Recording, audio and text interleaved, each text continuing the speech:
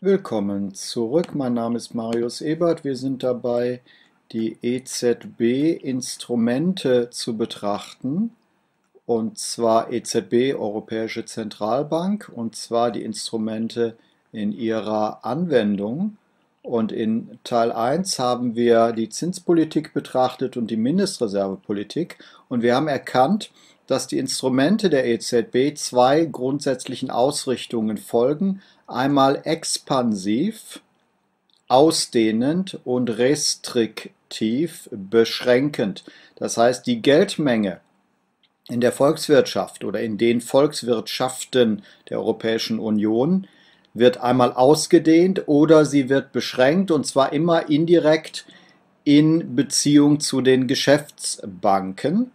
Und wir haben die Zins- und die Mindestreservepolitik betrachtet. Und jetzt betrachten wir die Offenmarktpolitik. Wenn Sie noch nicht wissen, was das ist, schauen Sie bitte die anderen Videos. Dort ist es erklärt. Das kann ich jetzt hier in diesem Rahmen nicht machen. Der Grundgedanke ist, die Offenmarktpolitik in Bezug auf die Attraktivität jeweils expansiv oder restriktiv zu gestalten. Was heißt das? Wenn ich die Attraktivität senke, dann betreibe ich expansive Geldpolitik. Und wenn ich die Attraktivität der Offenmarktpolitik erhöhe, betreibe ich restriktive Geldpolitik. Das heißt, Offenmarktpolitik bedeutet ja, dass die EZB mit den Geschäftsbanken Wertpapiere handelt.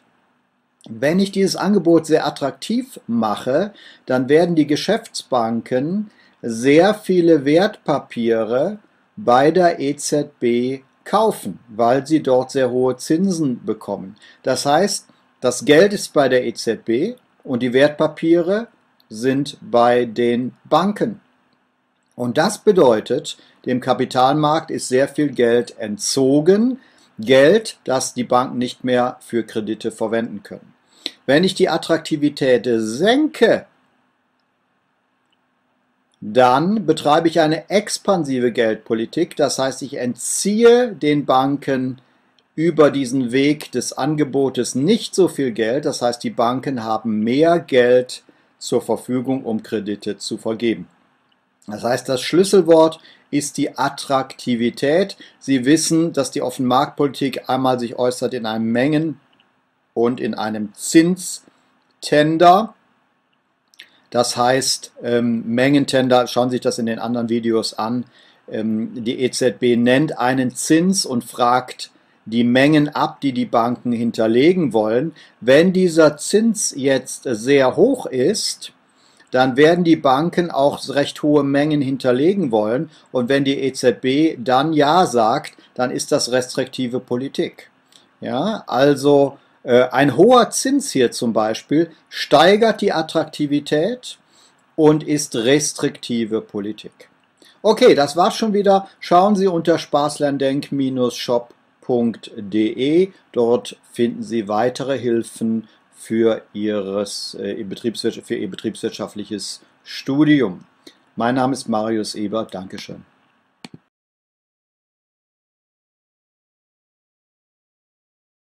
Im Übrigen glaube ich, dass wer einen Fernlehrgang bucht, sich durch schöne Werbebilder hat täuschen lassen.